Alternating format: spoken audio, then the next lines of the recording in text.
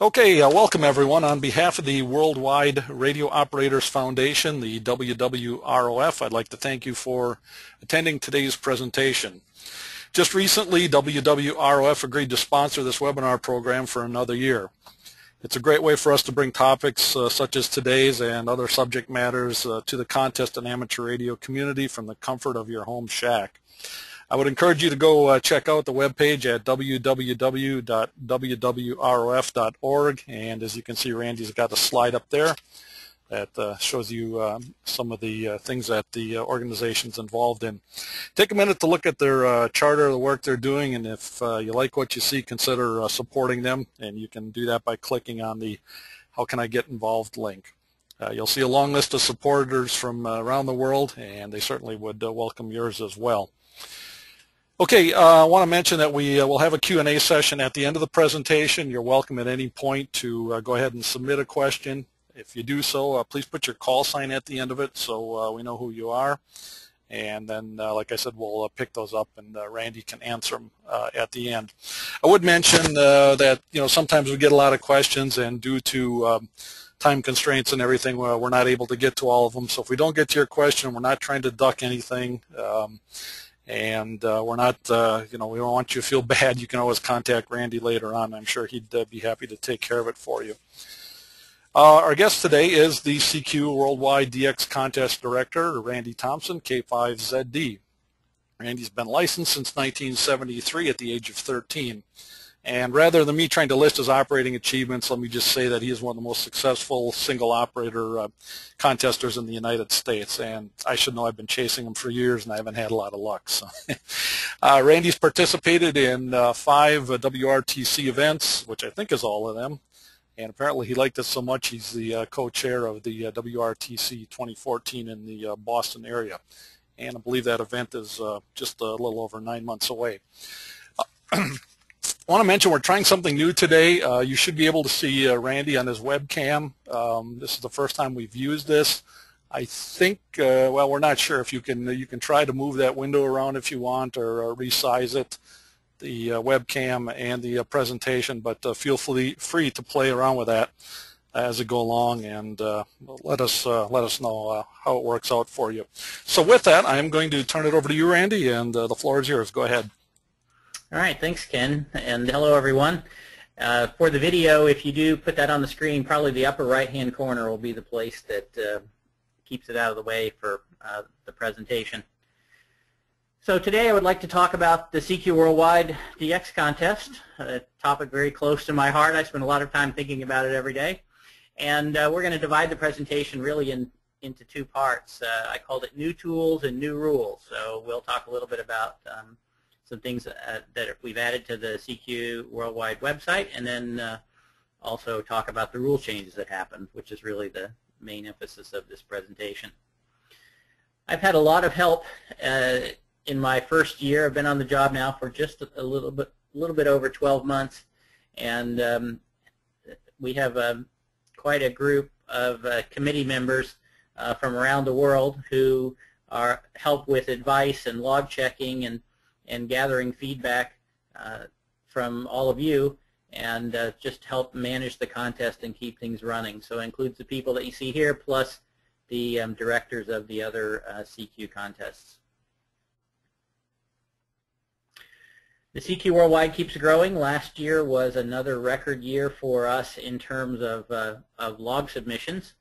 We had uh, we had over um, 8,000 logs on sideband and over 7,000 on CW, which is really fantastic. And uh, that was up quite a bit from the year before. So you can see it's quite a growth curve here. I, I said last year on the webinar that my job as the new director was not to mess anything up. So we made it through year number one, and uh, we'll, we'll keep trying to continue that curve. But it's all about getting people on the air, having fun, and the logs just give us a way to uh, keep track of the activity.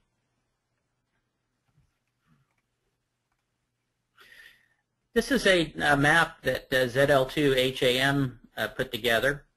And what he did was took all of the entries for CQ Worldwide Phone 2012 last year and plotted them on a map based on the location of the call sign as best as we could as he could determine it.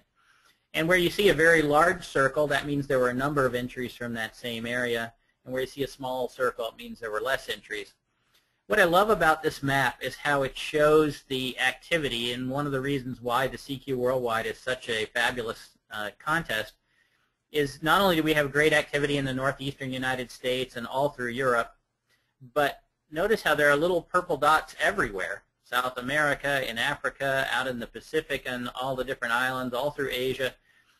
This wide variety of activity from around the world is really what makes the contest uh, so exciting and so special. And we see the same thing on CW. Uh, very similar demographics, a lot of activity in the northeastern part of the United States, big activity in Europe, and then um, purple dots uh, all around the world. Maybe not quite as many, uh, but uh, certainly more in uh, Russia and so on. So one of the things that was a big change for last year, um, CQ Worldwide in 2012 was the first year that CQ, and this was CQ Magazine who made this decision, um, they changed the log deadline to five days after the contest. And uh, this moved it from three weeks or four weeks down to just five days.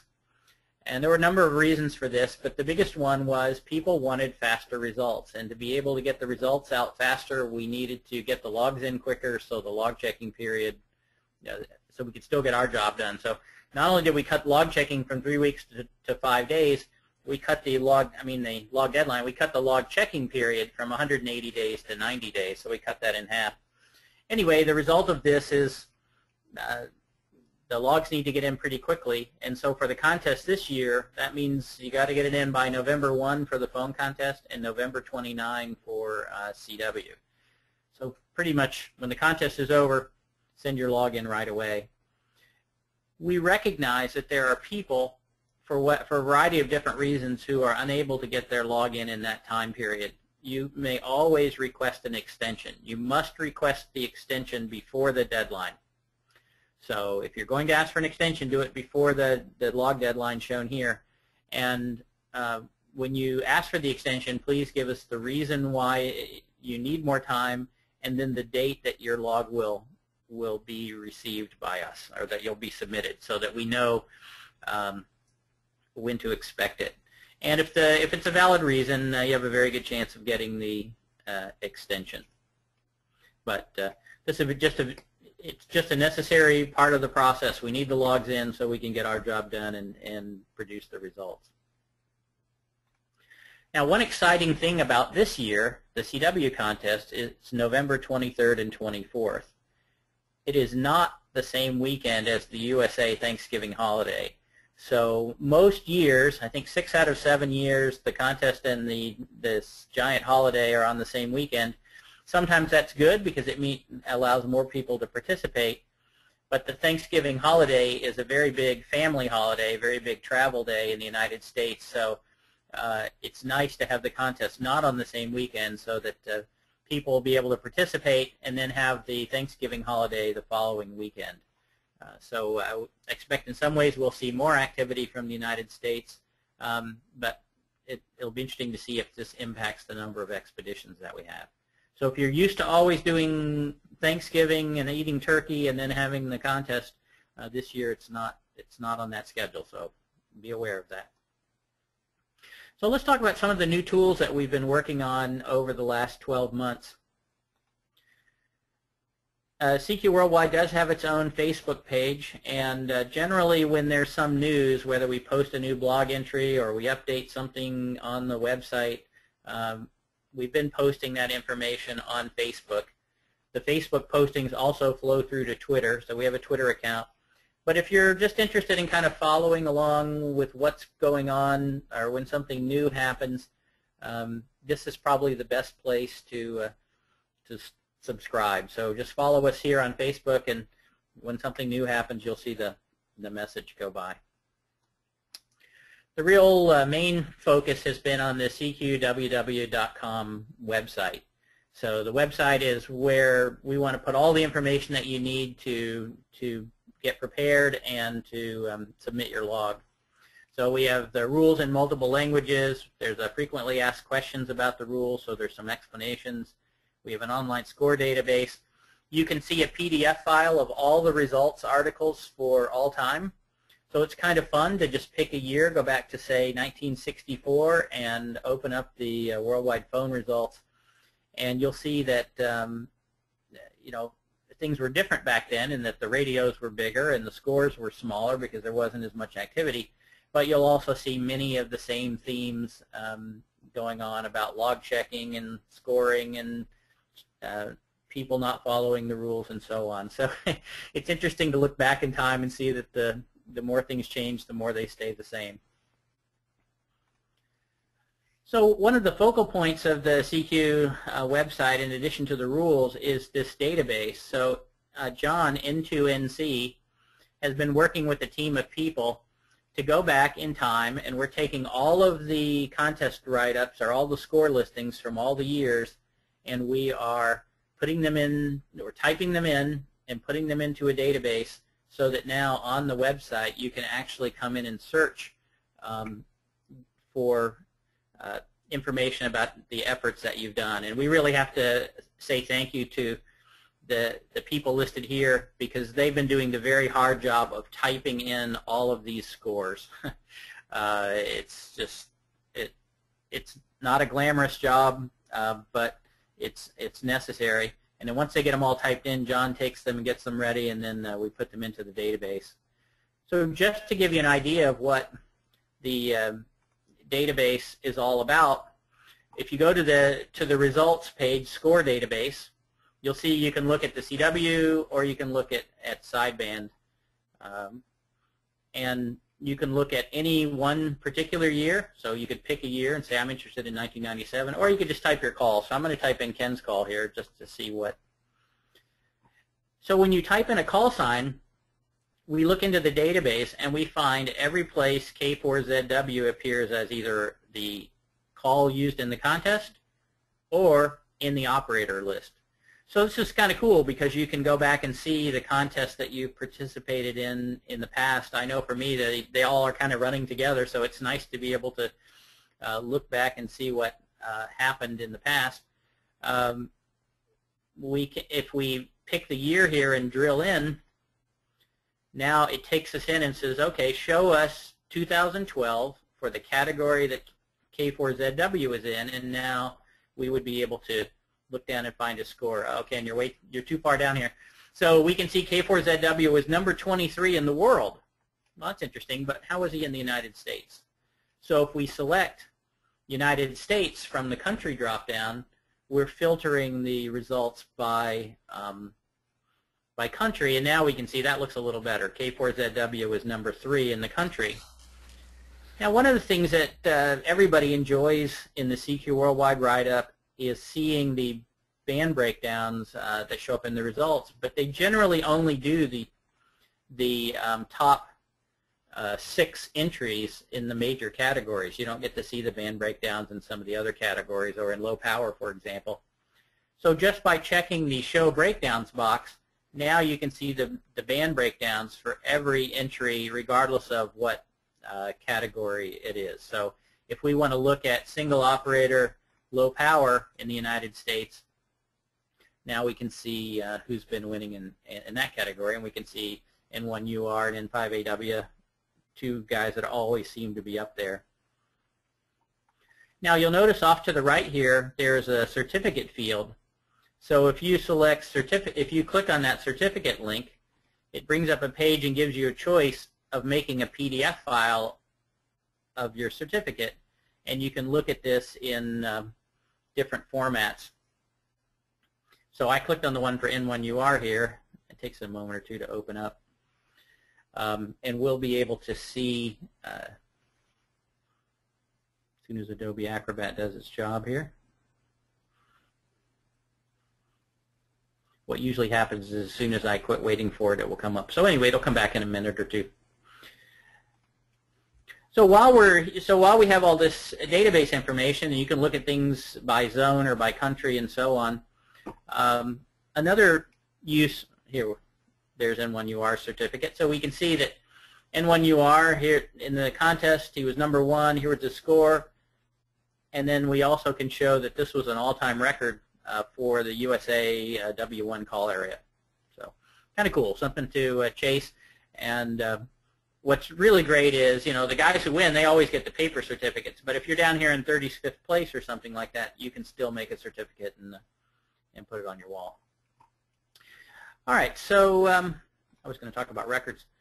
So if, um, you know, another thing we can do out of the database is we can automatically calculate the all-time records. So what we're looking at here is the world records.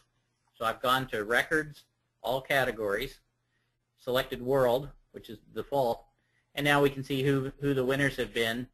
And if we um, are curious about, well, who else has been competing in multi-single with P33W, if I click on that, here's a list of all the all-time high scores in multi-single for um, you know all, the years that we have in the database. So we can see P33W and D4 have been uh, very good places to be. If I come back and uh, let's say we want to look at the all-time records in um, where would be a good place? Uh, we'll pick a place Ken's been to. We'll pick Mongolia. So if we look at the all-time records in Mongolia, now we can see that okay, uh, there's you know there's not been an entry in multi-two on CW from Mongolia. Here are the top scores. You know, even back to 1990, JT1F has the top 20-meter uh, single band score from from that country, and so on. And there's been no entries in QRP uh, assisted because that category has only been in the last couple of years. So it's not unusual to see down here in the new categories. It takes a while.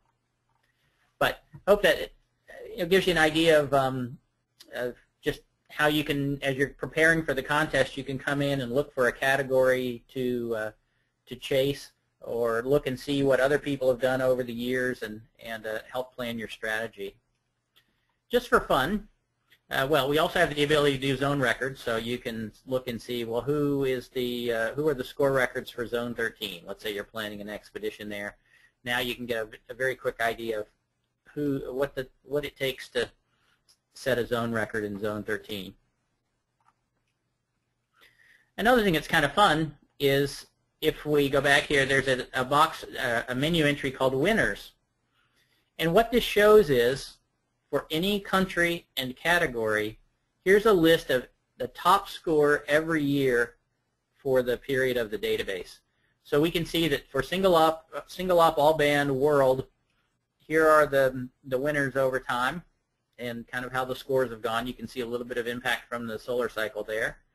Uh, but we could also go look at um, you know, single op assisted uh, 20 meters. And if we do that, same thing, we can see who who is the top single op assisted 20 meter score for each year. And although I don't know how this G3B got in here, I'm going to have to look into that one and find out what happened. Okay, so uh, let's see. I think that was the main things that I wanted to cover there. But uh, a lot of it, this database is really fun to go back and look and see kind of what you've done over time.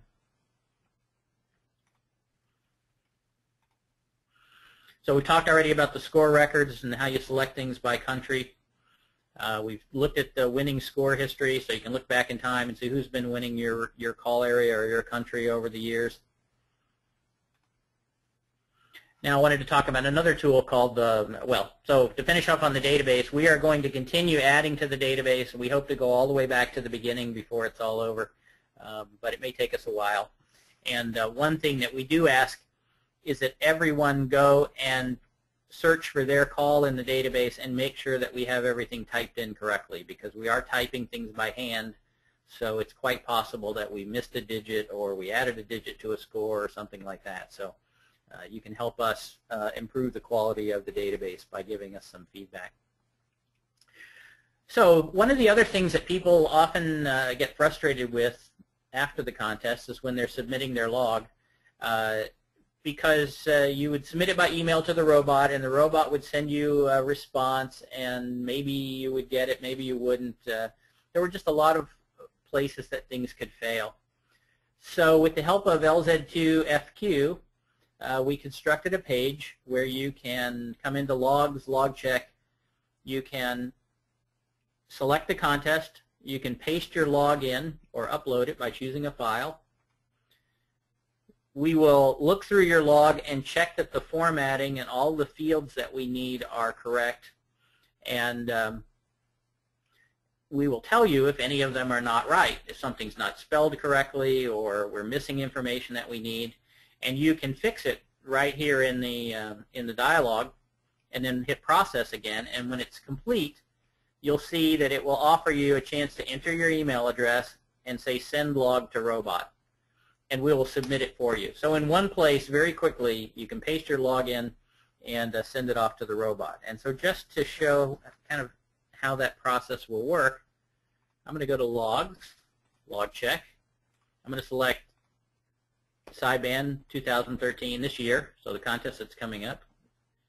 And uh, let me go find my log here. I've got one called AA1ZZZ. And when I process this log, it comes in and tells me, oh, there's two problems here. Number one, the category power is wrong. I've got 5 watts written here, and the valid values it tells me are high, low, and QRP. So I can just come in, repair this, and then it also tells me the location is wrong. Well, USA entries, USA and Canada entries or call signs need to have a location, which tells us what state they're in. And the reason for that is we need to know whether they're operating in their call area shown by their call or whether they're operating somewhere else. So um, in this case, AA1ZZZ is in Massachusetts, so we type that in correctly. It can be it can be the state name or the section name. And this time when I process it, it tells me everything is okay, and so I can put in my email address. If I check the box, it will it will not only send my log to the robot, it will also send a copy of my log back to me. So this way you end up with a copy of what you actually submitted. And when I say send, it's done, and uh, usually within about two minutes or so, you'll get uh, you'll get the confirmation email back from the robot. So you still we're still sending the log to the robot, and you still want to see that um, confirmation come back to know that your log uh, got fully submitted. Now when your log is submitted, you can go to the logs received page. So logs received SSB. And here, after the contest, you'll see as the logs start coming in, they will all show up here. So if you do not see your call sign or your log here in this logs received list, we don't have it. So you should immediately contact questions at cqww.com and help us figure it out. Uh, very important. This is the last step in the process. If you see your um, your log show up in the logs received, then you know that we have it and you're ready to go. Okay, so those are just some of the things in the CQWW website, and I hope that um, you take a few minutes to uh, to visit there. Just uh, while I'm at it, one other thing. There is a blog on the CQ Worldwide website. Um, if you are familiar with blogs, um, you might want to subscribe. Again, this is where we put things when we make announcements. So we announced the historical score database, um, had an editorial on cheating. We announced that the rules were available in 13 languages and, and who did it, that kind of thing. So if you want to keep up with what's going on, Facebook is one way, but um, you can also just subscribe to the, uh, to the blog here. Okay, so back earlier in the year, in March, we took the 10,000 highest scoring entries from CQ Worldwide 2012, both modes together, and we mailed an invitation to all of those people asking them to take a survey. And we also announced this on the CQ Contest Reflector.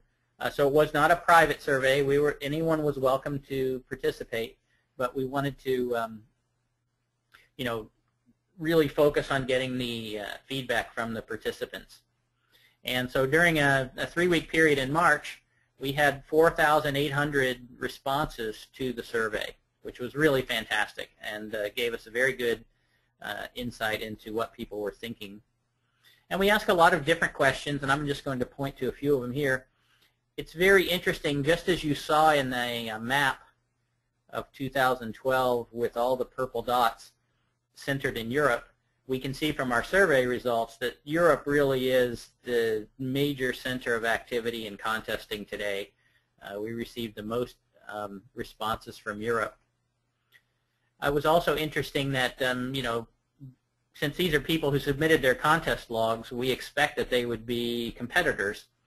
And uh, we can see here that uh, that indeed uh, the survey respondents were people who were either trying to win, and trying to win with their own definition. It might have been trying to win their section, trying to win their continent.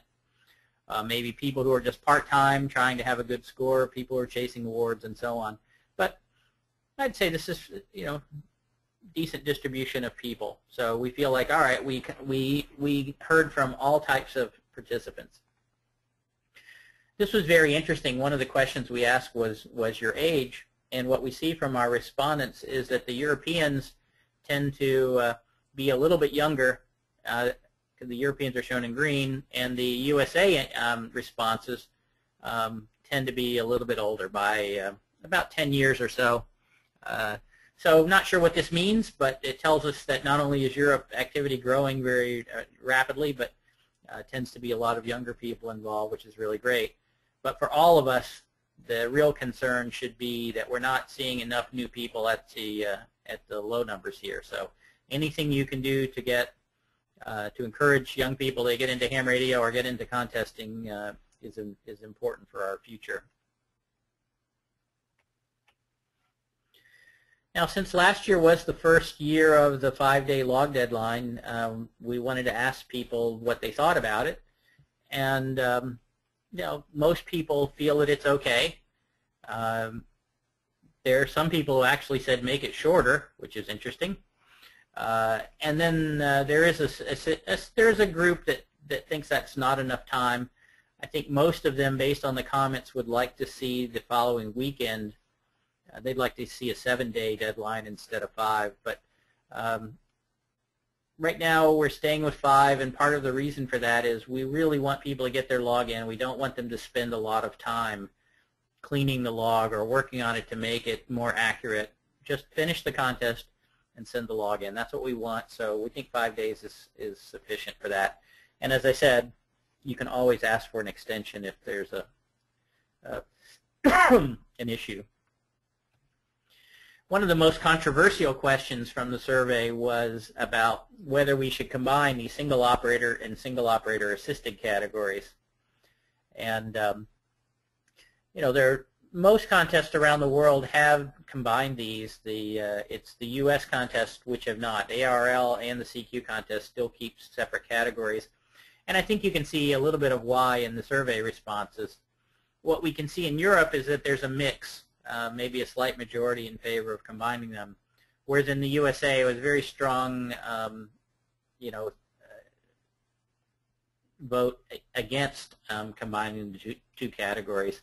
And maybe this has to do with the age, maybe it has to do with just tradition, something like that. But uh, the end result is we can see that there's just not enough, um, you know, reason to change at this point. And uh, and as long as people are um, honest and following the rules, there's nothing wrong with having two categories. It's not a problem for the contest. We can still check the logs. It's really just uh, you know, a question of whether we need the two categories or not. And right now, it appears that people still want them. Another uh, one, question on the survey, um, after each contest, I get a lot of complaints from people about you know, poor signal quality, whether it's splattering or clicks or something like that. And so the question was, should that be a reason to disqualify someone? Um, if someone is transmitting on 80 meters and they have a very strong signal on 40 meters, they're obviously using two bands. They're being a poor neighbor. Um, you know, is that something that, that the contest community thinks uh, is okay or should be, uh, uh, you know, something that can be penalized.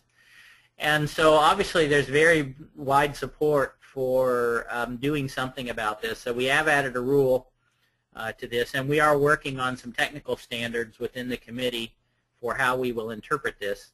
But um, I think the most important thing here is operate within good amateur radio practices, you know, uh, don't run too much power, don't splatter, don't have big key clicks, and uh, and I don't think this will be an issue at all. And occasionally there'll be someone who doesn't obey all those things and will um, investigate them. So there were many more questions than that, but I thought those were some of the more interesting ones. If you want, if you go to the blog, there is a, a blog entry where we provide a PDF document that lists all of the comments and all the results for every question. So if you want to see what your fellow competitors are interested in or thinking about, um, you can read everything that they said uh, in the uh, in this results document. So once we had the results, we had some internal discussion within the committee. We had a public review period where we did two different uh, drafts of the rules, an original one and an intermediate one. So everyone in the world had their chance to comment on the, um, the rules as written, and we received some fantastic um, feedback, which, and we did change some of the rules or some of the text based on the feedback. And then on July 1st, we um, released the new rules. So let's talk about some of the um, some of the rules here. So there's no change to the scoring. So everything that you know from the past is still true. Three points for a different continent, one point for same different country, same continent, except in North America where it's two points. Uh, this is a historical thing from a long time ago. I'm not sure exactly what the origin was, but uh, it's just always been that way. Uh, mostly this gives the station in the Caribbean uh, some extra points for working the USA. And then, of course, if you work your own country, uh, it's zero points. But you need to do that because those say, even though they're zero points, they do count for multipliers. The multipliers are the number of countries that you work per band, and this is the DXCC list plus the WAE um, list. So this means there's a couple of extra countries uh, like uh, IT9 uh, counts as a country. Kosovo, Zulu 6 counts as a country because they're on the WAE list. And then, of course, CQ zones uh, per band. So you add countries and zones together, multiply it times the total QSO points, and that's your score. We have a lot of different entry categories, so you can enter single operator all bands or single band, single op assisted all band or single band, and you can operate in three different power categories, 1500 watts, 100 watts, or 5 watts. We have two new overlay categories, which I'll talk about uh, in a moment. And then, of course, we have multi-op. Right now in the CQ Worldwide CW and SSB contest, multi-op entries are all grouped together in the high power category in 1500 watts. Um, some of the other CQ contests have adopted a 100 watt multi-op category, and that's something that uh, we may consider for next year uh, if we get enough uh, feedback on that. So what are these overlay categories? The overlay categories are something new. They've been in the CQWPX contest for a number of years, and now we're bringing them into the worldwide. An overlay category is like a second parallel contest. So you enter the CQ Worldwide the same as you always have.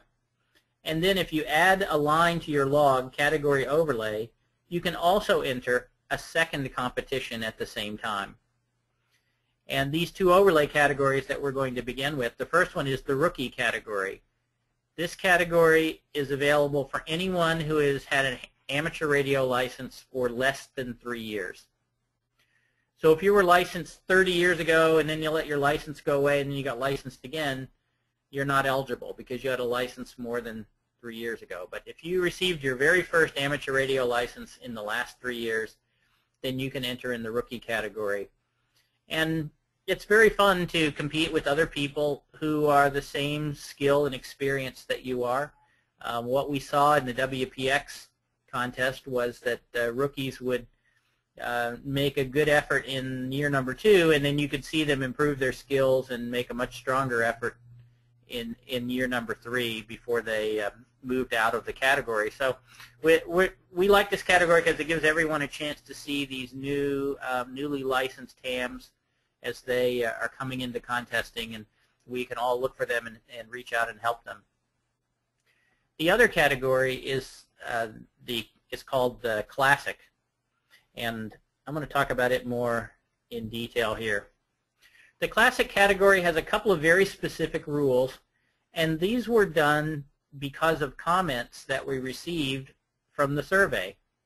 There were a lot of people who said, I can't operate the whole uh, 48 hours for whatever reason, job, family, work, I mean, uh, job, family, uh, health, whatever the reason. And um, we wanted a category where these people could compete but we wanted to keep it simple uh, and keep the things, uh, so that's why we said only one radio. So people entering the classic overlay uh, cannot be doing SO2R. This is for people who have one radio, they're getting on the air, and then uh, we wanted to make it um, easy for us to administer. And uh, also what we were noticing was a lot of the guys that were asking for less time, uh, they wanted to, they wanted the more traditional um, operating, contest operating, like they uh, like it used to be. So we said no DX cluster, no assistance. So a single operator, one radio, and then limited to 24 hours of operating time. Now, it's not 24 hours in one stretch. You get to choose your own 24 hours however you would like. So in the example over here on the right-hand side, we can see this operator operated for two hours, then took a break, then operated for four hours, and then took a break, and so on. And they operated their 24 hours, and then they kept operating some more. They actually operated two hours beyond, which is fine. We want you to operate as much as you want. But in the end, we're going to calculate your overlay score based on the first 24 hours of operation. And an off time is 60 minutes with no QSO. So any time that you don't make a contact for more than 60 minutes, that will that does not count uh, as operating time. So uh, you get to choose when you'll operate during the weekend, and if you get to the 24 hours and the bands are still good, uh, by all means keep going, because your traditional category score will be made up of everything that you do. Your overlay score will stop at 24 hours. So uh, it's so you actually have motivation to do the best you can in 24 hours, but the freedom and the flexibility to keep operating more if you want. One other thing I forgot to mention, in the overlay categories uh, for both rookie and classic, uh, we won't have single band. Uh, we're only going to have all band. So we're going to take your log, um, whether it's an all band log or a single band log, and we're going to calculate the score as all bands. And this will um, is partly so we don't have to deal with so many categories and certificates, um, but also just to kind of get everybody to get give us a way to test drive this category, and then decide next year if we need to expand it some more. But let's say that you do single band 20 meters and you submit your traditional log as single band 20, but you also work some stations and you log them on 40 or 80 meters or 15 meters or something just because you wanted to have some fun and go work some other stations. That's fine. You will have a single band 20 meter score. That will be your traditional score. And then if you entered the classic category, your classic score would be the total of all the bands put together. So there's actually some advantage, perhaps, if you do single band to work some stations on the other bands um, just to help with your classic score. But that's part of what's going to make it so interesting this year is that everyone will have a chance to choose their own strategy. And maybe your strategy is just to operate for fun and stop whenever you feel like it, and other people will try to figure out exactly what the best times are to, uh, to be on the air. But one radio, one operator, um, no assistance, that means you really have to be a good DXer to, uh, to find the right balance for a big score. We did remove three things for in 2013. We removed the team competition. The team competition was uh, uh, you could choose any 10 people and submit as a team. Um, we weren't seeing very much activity there, and we wanted to promote the club competition. The extreme category was a category almost without rules. The idea was you could do things uh, to encourage people to try new technologies. We still think that that's a good idea. Uh, just this category was not very well designed. So we're taking it out for this year, and we'll think about uh, bringing it back in a, in a new way uh, next year.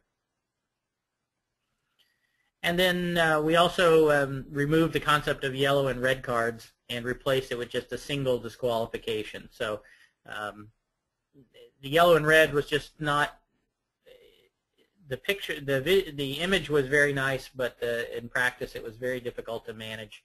So now, if you are disqualified, you're just disqualified. There's no colors involved. One other change was in the club competition. We split it into two different um, competitions. So there's excuse me, a USA club category. Uh, and this is because in the USA, the there's a long tradition, uh, partly uh, driven by ARRL club rules, of what a club is. A club is people within a circle 175 miles. Um, it, so every the idea was just everybody is in a local area. And then, of course, we allow the expeditions to also count for the club, just as they always have. But in the DX um, outside the United States, it was much different. Uh, people, uh, the, the contesters are much more uh, spread out. Uh, the countries are very big with maybe low activity. And so we decided that we would make a different rules for the outside of the U.S. clubs. So all of their entries now, there's no distance limit. Their rules can, their entries can come from people in the same country and within 275 kilometer circle around their club center.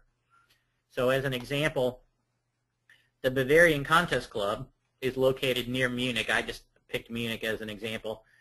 And so they can have their entry, the members of their club submit entries who are, their members can be anywhere in Germany. So even far up in North Germany can still be a member of the BCC. And then also we can, they can have members who are within this circle, within this distance of the club center. So maybe some from Austria or Czech or maybe uh, Luxembourg, Switzerland, that kind of thing. Um, but under these rules, there couldn't be anyone submitting a log from uh, Belgium or the Netherlands or something like that for the Bavarian Contest Club. And again, the whole idea of the club competition definition is just to provide some constraints so that we're comparing um, you know, somewhat similar things together. We do not want to make this a game of recruiting new members over the internet. There is a rule, um, again, asking you not to do any changes to your log after the contest um, by using databases or recordings or sending email confirmations. Uh, if you made some notes for yourself, that's fine. Uh, if you have something in your head, that's fine. But what we don't want is going and looking up information uh, to improve your log. That's against the rules. So when the contest is over, make sure that the Cabrillo file header information is correct. As you saw, we checked that in the log check uh, page. Make sure that your log has all the fields in it that it's supposed to have, and then send it in. If you made a typing mistake or you miscopied a call sign, it's okay. It's part of the game, and uh, and and you learn from that and go on to the next year.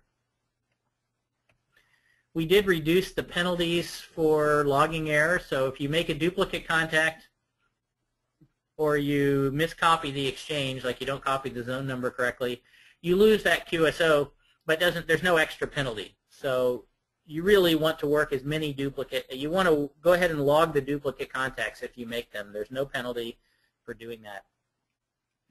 There's also no penalty if a multi-op makes a band change error. Let's say they change bands too early, uh, something like that. We just remove the contacts that they weren't allowed to make. The biggest thing is if you make a mistake in a call sign or you are not in the other log, so you think you worked a station but you are not in his log, that you lose the QSO and then you also lose two times the QSO point value of that contact. So why do we have an extra penalty for these? The biggest reason is we want people to make sure they get the call sign right when and they make sure that they made a QSO. So the most important thing is if you didn't work the station, then that's uh, we don't want you to put it in the log. We also don't want people to guess.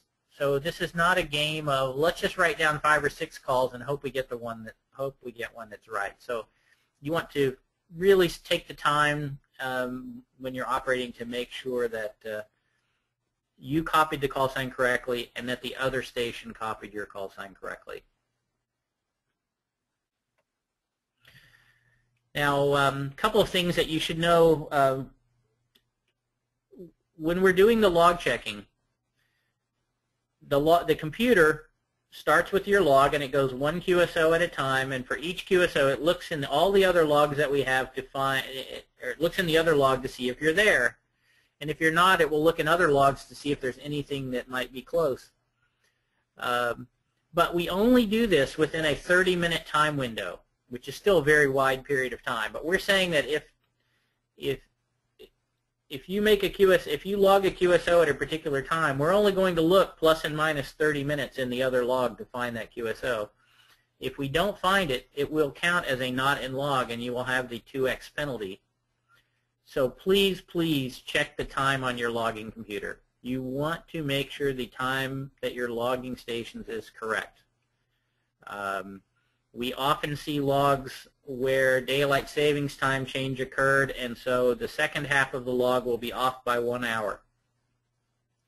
And when we see that, we will try to fix it if we can because uh, we don't want participants to lose points, but at the same time, uh, we want people to make sure that they're actually having a QSO at the time that they said. I mentioned before we are exchanging, we are checking the zone information. So if you're working USA stations, um, you do want to pay attention to the zone number that they're sending and record it correctly in the log. So if you work K5ZD, you know, my call area, my the W5 says I should be in zone 4, but I'm actually in zone 5, and you just need to uh, pay attention to that because there are a lot of USA stations that are operating outside of their uh, what their call area of their call sign indicates. We do plan to have uh, software-defined radio um, listening sites around the world.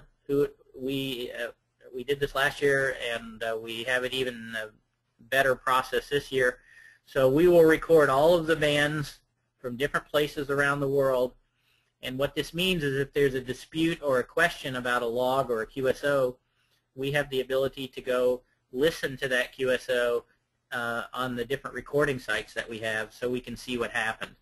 So this helps us find stations that maybe didn't change bands according to what their log says or transmitted more than one signal at the same time or this might be a tool that we use for analyzing um, poor quality signals.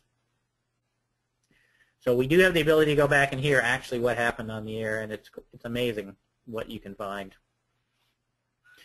Of course, we hope everyone has a great score and, and certainly able to win a certificate for their call area or their country. Um, there are also plaques available, and uh, if you go to the website, there's a plaque page, and we do still have some plaques that are available for sponsorship, and you would contact K1AR to uh, help with that. The 2012 plaques are in the process of shipping now. Um, uh, we're a little behind, but we're much more caught up than we have been. So um, by next year, I think we'll we'll have this process even better. Some other resources you should be aware of. Um, NG3K every year uh, compiles a list of all of the planned expeditions for CQ Worldwide Phone and CW. It actually does for every contest. But um, this is a great tool before the contest go see who all the different expeditions are and what call signs they'll be using and what category they'll be in so that if you hear them on the air or if you hear part of their call, you know, oh, that's a rare station in Africa, I need to turn my beam. Or that's a station out in the Pacific, I need to go look for them, uh, that kind of thing. So very helpful to have that, uh, take a look at it or print it out before the contest.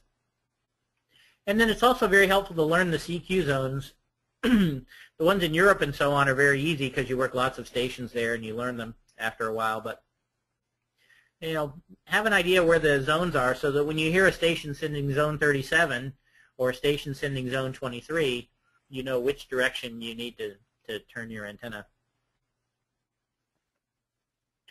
So I guess in summary, I'll just um, ask everyone to visit the CQ Worldwide uh, website read the rules. We have the rules in all those different languages, uh, so you can read, uh, hopefully get a good understanding.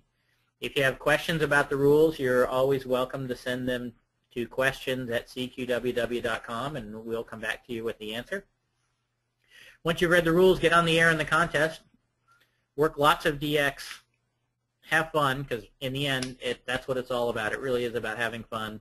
And then uh, submit your log because that helps us um, helps us with the log checking. You might win a certificate, and uh, it just provides a record of what you did uh, and it's always great, as you saw with the historical database now, it's fun to look back in time and see what you did each year, but you can only do that if you send in a log. So with that, I'll turn it over to Ken to see if we have any um, any questions. I know I went pretty fast through all of that, but we can certainly go back and talk about things if we need to. Okay, Randy, very good. Uh, thank you much. So we've got a few questions here for those of you uh, that want. Uh, go ahead and put your question in the question box, put your call behind it, and uh, go ahead and send it in to us. We have a little bit of time here, so we'll try to grab some of these. The first question comes from Glenn K2FF and just wants to confirm that these changes do not include the CQ Worldwide RTTY contest. Is that correct? That's correct. That, the Worldwide RTTY contest was last weekend. Now, um, the RTTY contest did adopt many of the same language and the same text as the Worldwide. We're trying, um, W0YK and I are trying to keep things as synchronized as we can, but the RTTY contest has some um, very different rules around multipliers and so on, and right now there's no plans to change it. Okay, um, you were talking before about uh, dirty signals and that sort of thing. Uh, PW1RM asks about uh, aggressive uh, operating practices, aggressive calling, uh, that sort of thing. Uh, is that something that could be penalized as well? that's a difficult one because everyone has a little bit different opinion or opinion of what is correct and also in the heat of the contest of course we all know that with fatigue and everything that you have many different operating styles. So I would say right now that is not an area that we are set up to to pursue or would want to make any rules about. Obviously we want people to be good neighbors and to be and use good operating practices uh, but we're going to rely on peer pressure to encourage that Okay, a uh, number of questions on the uh, classic overlay, so let's go ahead and hit these. Uh, first one from Jeff, uh, wondering in the uh, classic overlay, uh, since it's just single single radio, is SO2V okay? Um, yes, there's nothing that prohibits that. The only thing that we are saying is that you cannot listen at the same time you're transmitting. I realize in most radios that's not a problem, but we really are trying to keep things classic, as the name implies. So, uh, so yes, you can listen around on the second VFO, but uh, you, you can't use one of the new SDR radios that can listen and transmit at the same time. Okay, uh, next one again on the uh, classic category from Dave Kilo November 7 Sugar. Um, can I select which of the 24 hours I want to have scored or is it just the first 24 hours? Yeah, this. I wish we could give you a way to select, but right now we're doing it. We're um, to provide a little bit of uh, strategic decision making. We're basing it on what's in your log. So we start on the first QSO. That starts the timer, and um, we stop the timer if you go 60 minutes without a contact. And when you hit 24 hours, you're done. So uh, you have to decide a little bit whether you want to pick pick the best hours and focus on that, or whether you just want to allow the clock to run out when it runs out. Because I guess otherwise someone could operate full 48 hours and then cherry pick the best 24, and right, I'm not sure right. that's what you have in mind. We did well. we just didn't want to get into having to figure out how to score all of that. Well, that too, yeah, it creates a lot of uh, administrative work for you. So, okay, another uh, classic question from Louise: uh, Is it uh, multi or a single band um, that can be used? Well, you can do either one, but we're going to score all of the classic overlay logs as though they are all bands. So if you only enter one band, that's fine. You're just going to have a lower score than the guys who work all bands. Okay, next one from uh, George K5KG. Let me see if I understand this right. Since the uh, classic overlay is non-assisted, will the classic overlay be counted if I work uh, single op assisted for the full contest? I'm well, wondering. If you're single op assisted, you're not allowed to enter the classic overlay. Right. So maybe you know if you do your first 24 hours and then you want to go assisted after that, you're you're probably okay, right? Uh, no, because the way we're going to do things is as soon as we see your log says assisted, you are not in the classic category. Oh, anymore. okay. Okay.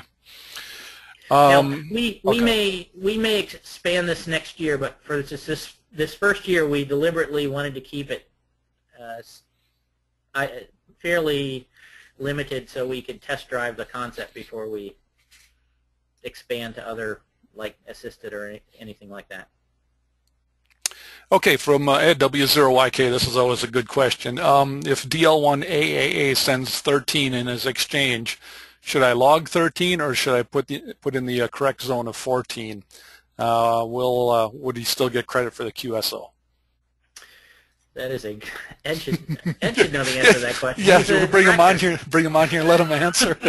Ed, Ed, why are you asking me this question? No, um, no, it's a very good question. The way we check the logs is this: if the other guy sends in a log and he has 13 in his log, we expect to see 13 in your log. But if he didn't send anything, I mean, if he doesn't send his log in, then uh, we don't. So uh, so if he sends it to you, uh, you you should log what he sends you if you think he's going to send in a log. How's that for a circular answer? Yeah, there you go.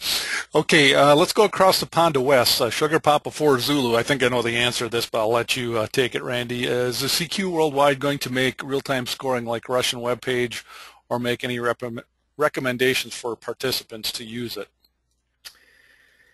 So I will say personally, I like online scoreboard sites. I think they're they're part of the future, and they make the they make the game uh, more interesting.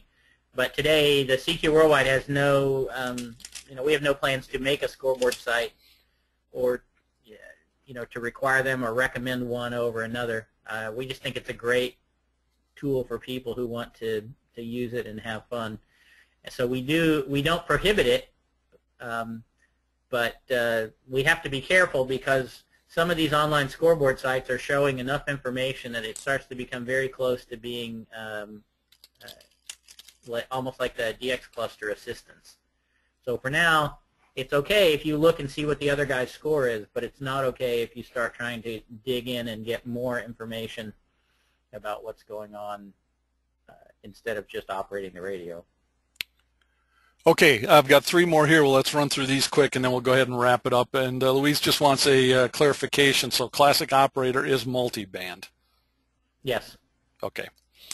Uh, Chad, KD0 Uniform Whiskey Zulu, when operating multi-operator, single transmitter, uh, under a single call, how often can operators switch out?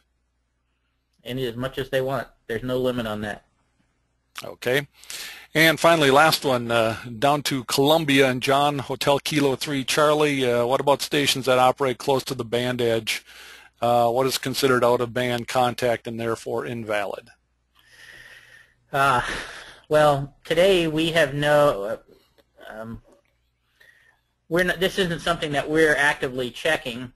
Um, if we receive a complaint or we hear of somebody who's deliberately out of the band for some period of time, then we look at it on a case-by-case -case basis. The challenge here is that not every country uh, seems to have the same regulations with regard to the band edge that we have in the United States, for example. So what may be okay in some places is not okay in others. So for now, um, again, we we'd like people to follow the rules of their country and of the of the ITU regulations and so on, um, uh, but only if it was really a persistent problem would we um, consider taking action. Okay, very good. Well, let's go ahead and wrap this up. Uh, anything else you want to hit on yet, Randy, before we close this out? No, I appreciate everyone uh, taking the time to join us uh, today, and most of all, look forward to seeing you on the radio. That's what it's all about. Okay, very good. Well, thank you, Randy, for uh, taking the time to put together the pre presentation and for being here, and I think more than anything for you and the uh, crew that does a fantastic job, uh, which is undoubtedly the uh, most popular contest worldwide. It's a heck of a lot of work, and you guys do a fantastic job, and uh, I, I, know everyone appreciates it. Uh, the other thing I would mention is I just uh, sent out a, a, chat a little bit earlier to everyone. Um, go ahead and uh, talk up the program we have here. Let people know about the webinar program. Um, you can email me if you'd like to get on the list for when uh, when events come up, uh, we'll uh, we'll notify you uh, when future webinars are scheduled. So uh, you can go ahead and get on that. And also, uh, this is recorded and it's on the WWROF webpage. I'll shoot this off to the webmaster this afternoon and hopefully we'll have it up in the next uh, 24 to uh, 48 hours. So let people know about the program. Uh, we got plenty of room. Love to have uh, people join us. So with that, uh, thanks again, Randy. Thanks everyone for joining us. Have a great weekend, uh, great week, and we'll see everyone on the air here in a couple of weeks for the single sideband running of the CQ Worldwide contest. 73s, everyone. Take care. Bye-bye.